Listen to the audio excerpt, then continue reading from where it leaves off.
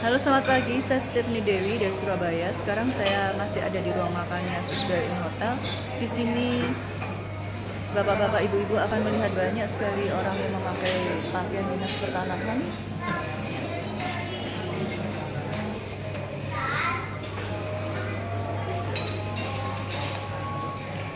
Yang ada garis kuningnya adalah orang-orang dinas pertanahan. Begitu juga di sana yang lagi makan. Yang ada kuning kuningnya jadinya dari dinas pertanahan sebenarnya saya sudah bicara dengan orang-orang yang sangat paham kinerja dari dinas pertanahan ibu? Ibu dari mana? Dari dinas pertanahan ya dari dinas pertanahan ya bu ya dalam rangka apa Bu? Anu ini apa? Teng mau Jawa. Oh, maaf. Makasih ya Bu ya. Itu bukti bahwa benar yang ada garis-garis kuningnya dari Dinas Pertanahan.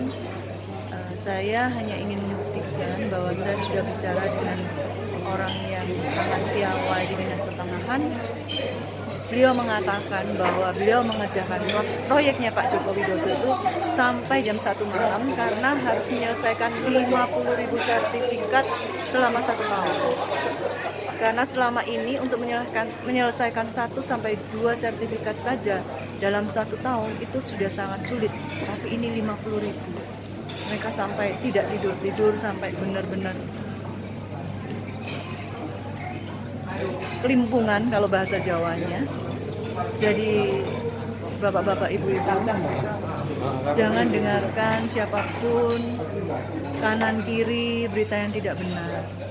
Kalau kita benar-benar membuktikan sendiri itu luar biasa Pak Joko Widodo kerja kerja dan kerja itu benar-benar terbukti tidak pernah capai tidak membeda-bedakan seluruh Indonesia ingin dibangun, Indonesia ingin dijadikan lebih baik dan lebih maju.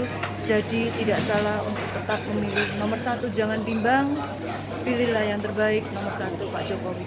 Sukses selalu Pak Jokowi. Menang.